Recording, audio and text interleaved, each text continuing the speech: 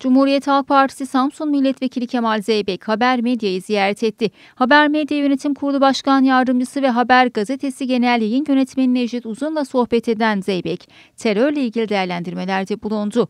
Zeybek, terör olaylarını nefretle kınadıklarını ve PKK'nın emperyalizmin uşağı olduğunu söyledi. Tabii. Son e, günlerde, son aylarda gelişen olayları tabii hep beraber izliyoruz. Bu kötü bir süreçten geçtiğimizi söyleyebilirim. Ben e, Doğu ve Güneydoğu'da terörden hayatını kaybetmiş asker ve polis güvenlik güçlerimize, e, ailelerine ve yakınlarına başsağlığı diliyorum bu şehitlerimizin.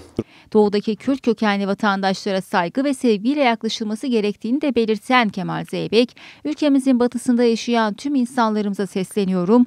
Biz Kürdüyle, Türküyle kardeşiz dedi. Sonraki süreçte e, Cumhuriyet Halk Partileriyle, Milliyetçi Hareket Partileriyle, AK Partileriyle, HDP'siyle biz bu ülkenin bu ülkenin varlığını korumak zorundayız.